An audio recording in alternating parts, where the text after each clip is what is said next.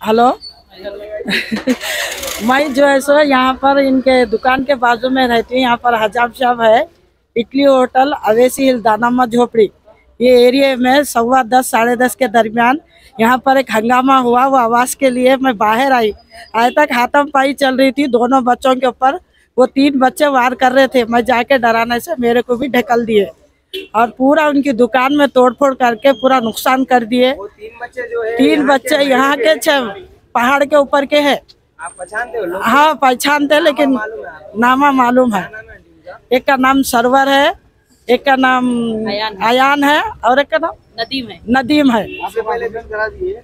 हाँ अब भी कर। चल रही वही चल रही है। ना इससे पहले भी बहुत गड़बड़ हुई है दुकान में। कभी भी है गांजा पी लेते आते किसको भी कमजोरों को दबाते। ये रॉडीरिज्म नहीं चलती। सब है यहाँ सब करके खाना अपनी अपनी मेहनत का खाना कोई किसी को नहीं दबाना। ये आज़ाद हिंदुस्तान है डरेगा कोई नहीं यहाँ पर। कोई भी रहो। ये गलत हरकत है कानून बैठे हुआ है। आते पुलिस वाले चेक करते देखते भाग जाते थोड़ी देर के बाद फिर आके हरकत करते। कानून इतने सख्त होने के बावजूद भी इन लोगों की क्यों हिम्मत क्यों बढ़ जा रही है इन लोगों की? क्यों ये कर रहे हैं लोग? इन लोगों को डर खौफ किसी का नहीं है क्या? अपने घर में भी फैमिली है ना? इससे पहले भी हुआ था यहाँ पर? पहले भी हुआ दो तीन बार करे आप नहीं करे ये बच्चे क्या करे जान दो बस्ती का मसला है। लोग डर रहे हैं गैर मुल्की लोग है। बाहर से करके खाने आए वाले है लोग गरीब लोग हैं। और लोग क्यों करेंगे?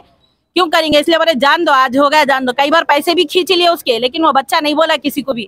हम भी बोले, कर्म यहाँ दोबारा नहीं होता, जान दो बाजी, जान दो बाजी। आज पूरी दुकान तोड़फोड़ करे, उनके वाली साहब जयीफ है। उनको ढकल लेते वो लोग गांजे के नशे में कहीं भी मार देते, जान चले जाती ना। इसीलिए हुकूमत से दरखास्त है, ये रॉडीरिज्म यहाँ से बर्खास्त करिए।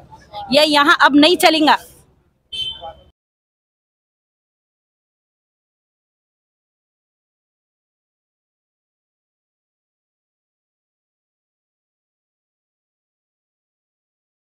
पिटाई करी उन्होंने फिर आईने फोड़ने चालू कर दी। कहाँ के लोग ये? ये पहाड़ के लोग आए। क्या टाइम पे हुआ ये करीबन सवा दस बजे के आसपास की बात है। कितने लोग हैं? तीन लोग थे वे एक चार थे एक वैसे था तीन मार पिटाई में थे। नशे की हालत में थे वो लोग? नशे की हालत में थे। क्या बोले आगे आप लोग? आगे बोला मालिश करना होगा ना मगा भाई बैठो कर रहे हैं। इतने में आईना फोड़ना चालू कर दिया मार पिटाई चालू कर।